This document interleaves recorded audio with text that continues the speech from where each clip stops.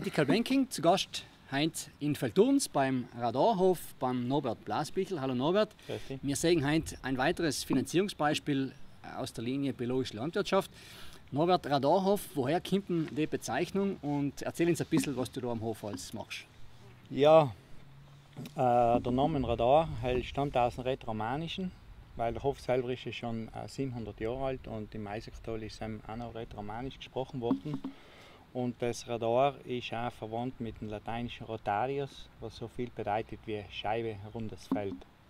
Und äh, deswegen ist auch unser Logo, das was wir auf die Etiketten drauf haben, ist eben das Radl. Mhm. Und äh, was passiert jetzt als am Hof da? Ja, wir vom Hof her sind wir ein gemischter Betrieb, relativ typisch äh, für unsere Gegend hier. Und äh, Schwerpunkt bei uns ist der Weinbau, Obstbau dann haben wir eben äh, Edelkastanien, mhm. äh, ein bisschen Tierhaltung, wo wir Mutterkuhhaltung machen. Äh, wir verarbeiten relativ viele Produkte hier am Hof und die eben mit denen selber äh, die dann selber verkaufen. Mhm. Und das alles nach natürlich biologischen Anbau? Ja, das heißt Biolandbetrieb? Ich habe einen Betrieb vor 15 Jahren von meinen Eltern übernommen und noch gleich auf biologischen Anbau umgestellt. Ich bin seit Dezember Bioland dabei. Mhm.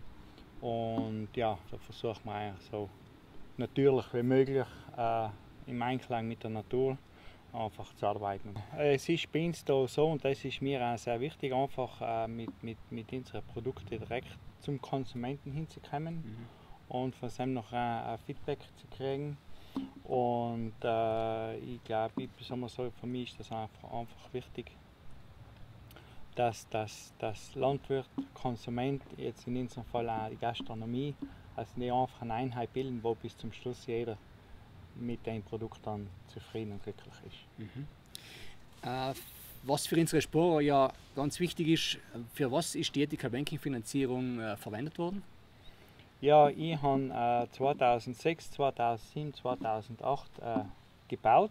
Das heißt, wir haben es 2006 eine neue Brennerei eingerichtet, mhm. wo wir eben unsere Früchte zu Destillate verarbeiten und eben nachher eben 2007, 2008 in so einen Weinkeller äh, saniert und äh, hergerichtet und vergrößert und äh, so ist eben äh, die Finanzierung hergenommen worden. Mhm. Was für Enk oder für die wahrscheinlich ja eine große Hilfe war, oder? Ja, logisch, nicht? weil ich meine, äh, wir wissen alle, dass in der Landwirtschaft Eigenkapital Mangelware ist, mhm. überall.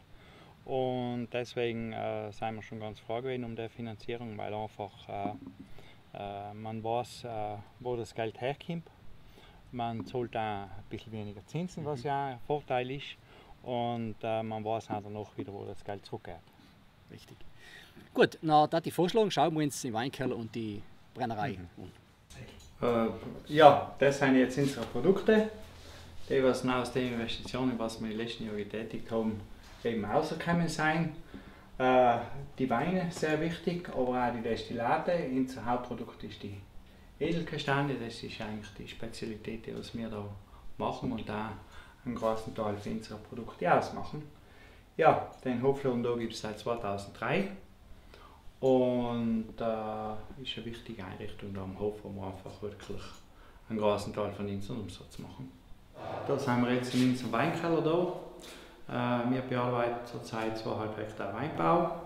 Unser Weinbau ist also zwischen 750 und 100 Meter Meereshöhe. Das sind eines der höchsten Weingüter hier in Südtirol und bauen eben aufgrund dessen auch ziemlich viel Weißwein um. Unsere Hauptsache ist der Müller-Thurgau und der Kerner.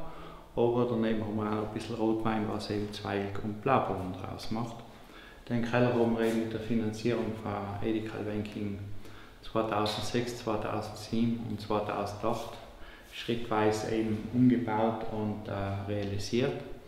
Und es ist zurzeit so, dass alle Jahre ein bisschen etwas äh, dazukommt. Und ich eben in, in Weinbaubetrieb, haben wir so die Weinbaufläche noch ein bisschen ausbauen möchten.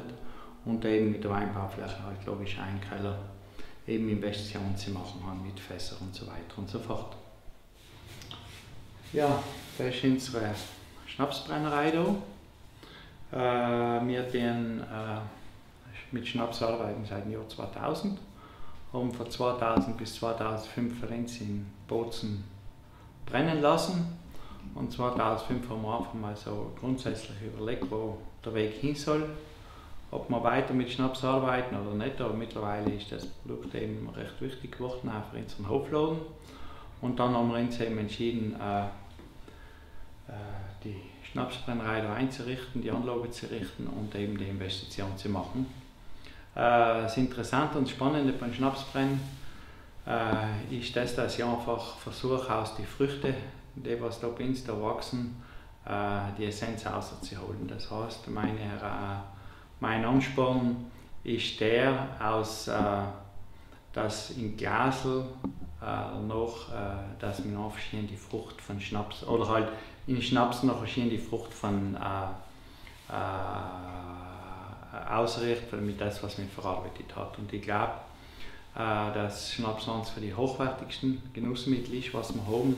Und äh, deswegen äh, versuche ich einfach, dass, äh, die Produkte so gut wie möglich zu machen. Das heißt, verarbeiten die wir nur äh, hochreifes, sehr gesundes, sauberes Obst das, was wir selber produzieren. Und äh, äh das wird dann äh, eben nach dem Brennvorgang gelagert und äh, die Schnäpse werden danach äh, alle mit, nur mit äh, gutem Quellwasser verdünnt, bevor sie dann in die Flasche gefüllt werden.